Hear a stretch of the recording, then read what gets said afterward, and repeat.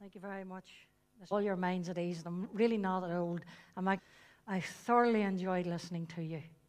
I have so, so missed the meetings with the boys and girls.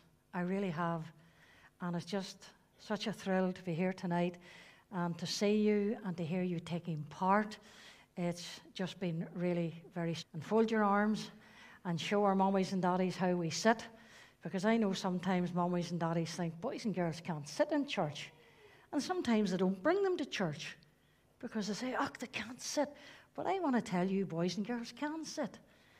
And I have to watch. So I just have to keep an eye on them because if they're eating sweets, I'll be looking some of them before the meet, after the meeting's finished.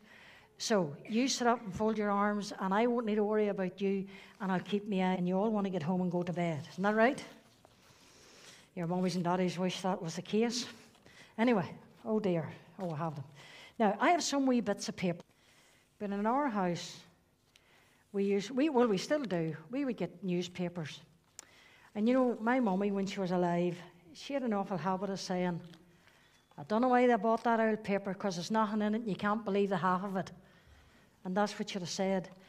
But I have some wee bits of paper here tonight, and I'm going to tell and I want you to listen carefully because I have a wee question in a minute or two.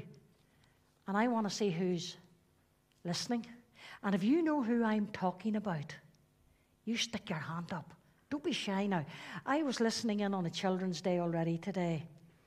And you know, the minister, he asked a couple of questions and nobody answered him. And the poor man, he had to answer the question himself if you know the answer. Now, there were two little boys. And these